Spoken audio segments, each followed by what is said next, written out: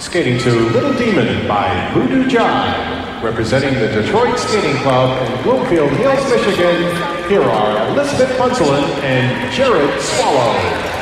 So a change in their original dance. The disappointment at that Champion Series final because they finished behind two teams that they had beaten before that. But here are the four-time U.S. champions. Well,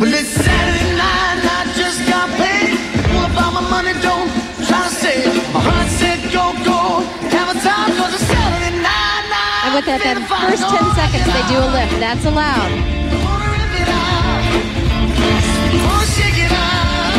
You can really get a feeling of the power and the speed that they have as they move down the ice.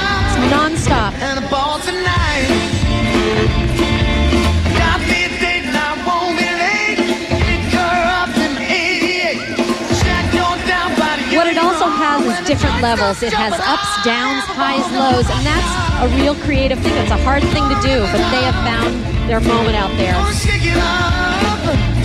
Gonna ball it up. Gonna rock it up. And ball tonight.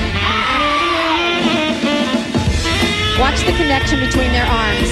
They don't let go, and they continue the movement. They're in unison. Great, great sequence.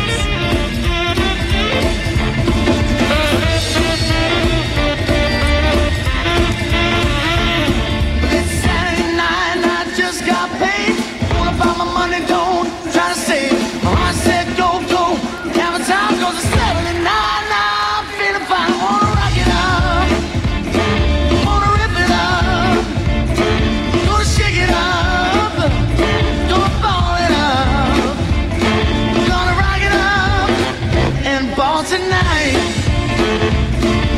Along about 10, I'll be flying high. I'm going out unto the sky.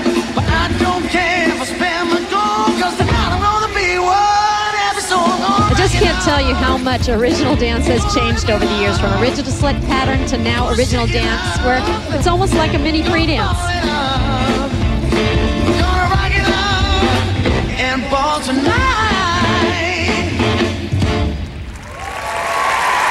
Well, the married couple, Elizabeth Punsalan and Jerod Swallow, the leaders after the compulsory dances.